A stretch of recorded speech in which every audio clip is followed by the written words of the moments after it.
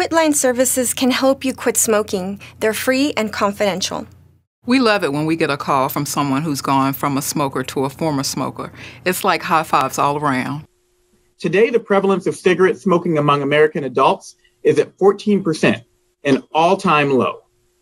Although this overall achievement is a source of pride, there's still much more work to be done because 34 million Americans still smoke. Cigarette smoking among adults remains the leading cause of preventable disease, disability, and death in our country. If you're thinking about quitting smoking and would like some help, a quit line might be just what you need to succeed. What's great about the quit line is that they help you prepare to tackle tough days when you may feel like you just can't do it anymore. When I needed extra help, they were there for me. They didn't judge me. They just helped me find ways to improve my plan to quit smoking.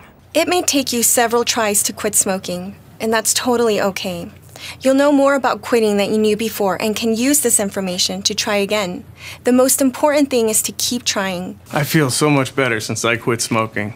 I never thought I could do it, and my family is so happy that I finally quit for good. I tried quitting before, but this time was different. I used a quit line and worked with a coach to handle my cravings. We came up with ways I could distract myself or change my routine when I'd usually have a cigarette. Ready for your own quitline success story? Call 1-800-QUIT now or visit cdc.gov/quit to get started.